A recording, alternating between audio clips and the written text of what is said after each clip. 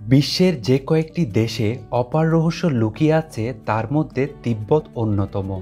নিষিদ্ধ দেশ হিসেবে তিব্বতের বিশ্বব্যাপী সুখ্যাতি রয়েছে। তবে কেন তিব্বতকে নিষিদ্ধ দেশ বলা হয়, তা জানব আজকের এই ভিডিওতে। অতি গুরুত্বপূর্ণ এই ভিডিওটি না টেনে শুরু থেকে শেষ পর্যন্ত দেখার অনুরোধ রইল। রহস্যময় এক দেশ তিব্বত। যে দেশের মানুষেরা প্রকৃতির মতোই শান্ত, শান্তিপ্রিয় তিব্বতীরা নিজেদের দেশ সম্পর্কে বাইরের দুনিয়াকে বেশি কিছু জানাতে পছন্দ করেন না। তিব্বতের রহস্যময়তার পেছনে সবচেয়ে বড় কারণ এর অত্যন্ত দুর্গম প্রকৃতি। হিমালয়ের উত্তরে বরফের চাদরে মোড়া তিব্বত শত শত বছর ধরে নিজেকে বহির্বিশ্ব থেকে আড়াল করে রেখেছে। আসলে সমগ্র তিব্বত নিষিদ্ধ নয় তবে এর রাজধানী লাসা হল নিষিদ্ধ নগরী। এই নগরীর মানুষেরা নিজেদেরকে আলাদা রাখতে পছন্দ করেন। সেখানকার মানুষের জীবনযাত্রাও অনেক ভিন্ন ও রোমাঞ্চকর। তিব্বত মূলত আলাদা দেশ হিসেবে স্বীকৃত নয়। এটি চীনের একটি স্বায়ত্তশাসিত অঞ্চল, যদিও অনেকে তিব্বতীদেরকে চীনের অংশ মানতে রাজি নয়। এ কারণে উনিশশো উনসত্তর সালে তিব্বতীরা দালাই লামার নেতৃত্বে চীনের বিরুদ্ধে স্বাধিকার আন্দোলন গড়ে তোলেন, যা শেষ পর্যন্ত সফল হয়নি। নিষিদ্ধ দেশ হিসেবে তিব্বতের পরিচিতির মূলে রয়েছে এর বৈরী প্রাকৃতিক পরিবেশ, নিষিদ্ধতা, অদ্ভুত জীবনযাপন। এইসব কারণে তিব্বত বরাবরই মানুষের আগ্রহের কেন্দ্রবিন্দুতে ছিল। প্রবেশাধিকার নিষিদ্ধ থাকায় মানুষ বছরের পর বছর তাদের এই কৌতূহল নিবারণ করতে সক্ষম হয়নি। আর এসব কিছু মিলিয়েই তিব্বতের পরিচিতি গড়ে ওঠে নিষিদ্ধ দেশ হিসেবেই। বছরে আট মাস বরফে ঢাকা থাকে তিব্বত। তাছাড়া পৃথিবীর উচ্চতম স্থান তিব্বত, যেখানকার গড় উচ্চতা সমুদ্রপৃষ্ঠ থেকে ষোলো হাজার ফুট। উচ্চতার কারণে তিব্বতকে পৃথিবীর ছাদও বলা হয়।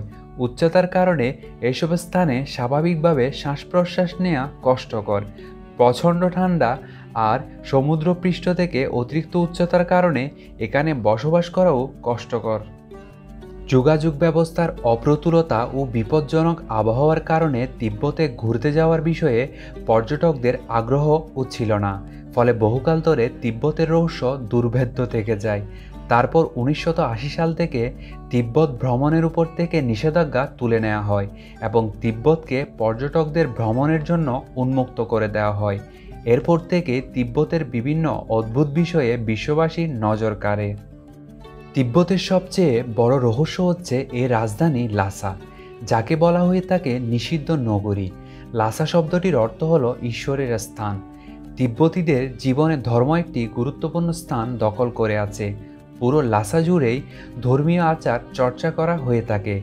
তিব্বতীদের প্রধান ধর্মগুরু দালাই লামার বাসস্থানও লাসার পুতালা প্রাসাদে। শোনা যায়, এ প্রাসাদের চূড়া স্বর্ণের তৈরি।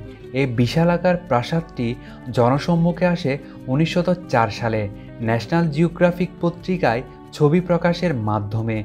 এই ছবি প্রকাশের পূর্ব পর্যন্ত বাইরের কেউ প্রাসাদটির ছবি দেখতে পায়নি।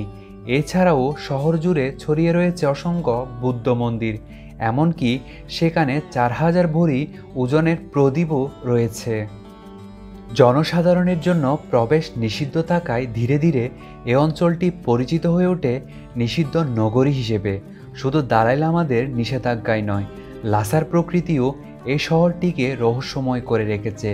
লাসা অবস্থানগতভাবে একেবারে বিচ্ছিন্ন একটি অঞ্চল। পৃথিবীর উচ্চতম শহর লাসা, যার উচ্চতা এগারো হাজার নয়শত পঁচাত্তর ফুট। প্লেনে, ট্রেনে, এমনকি সড়ক পথেও তিব্বতে যাওয়া যায়। তিব্বতের ভূপ্রকৃতি বা তিব্বতীদের রীতিনীতি রহস্যময় হলেও এগুলো সত্য এবং মানুষ সচককে দেখে তাদের কৌতূহল নিবারণ করতে পেরেছে। ভ্রমণ পিপাসুরা চাইলে তিব্বতের রাজধানী লাসাকে কেন্দ্র করে পূর্ব, দক্ষিণ পশ্চিম ও উত্তর দিকে ভ্রমণ করতে পারেন। লাসা ও এর উপকণ্ঠে অবস্থিত পোটালা প্রাসাদ তাচাও মন্দির, জেপাং ও শেলা মন্দিরে ঘুরতে দুই দিন সময় লাগবে। অন্যদিকে তিব্বতের পূর্বাঞ্চলে আছে লিনশি, পা সুং ছো, ইয়ারলাং চাংপং গ্র্যান্ড ক্যানিয়ন, লো লাং ও মো থো। এইসব অঞ্চল ঘুরে দেখতে আরও তিন চার দিন সময় লাগবে। এছাড়াও তিব্বতের দক্ষিণাঞ্চলে আছে সাংইয়ে মন্দির, ইয়োবোং লাকাং চাংচু মন্দির ও কু মন্দির। আর পশ্চিমাঞ্চলে আছে সিগেস্ট সিটি, এভারেস্টের ঘাঁটি, চাসিনলুনবু মন্দির চি লং উত্তরাঞ্চলের দর্শনীয় স্থান হিসেবে আছে নামটোসো ও ইয়াং পা চিং এই ধরনের লাইফ টাইম আরও ভিডিও পেতে চ্যানেলটি সাবস্ক্রাইব করুন এবং ভিডিও আপলোড করার সাথে সাথে পেতে বেল আইকন ক্লিক করুন।